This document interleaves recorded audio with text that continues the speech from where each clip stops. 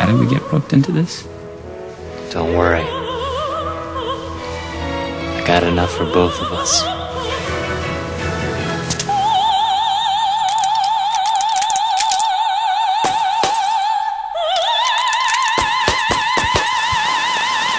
Refreshingly smooth Bud Light. Always worth it. First time at the Opera Place?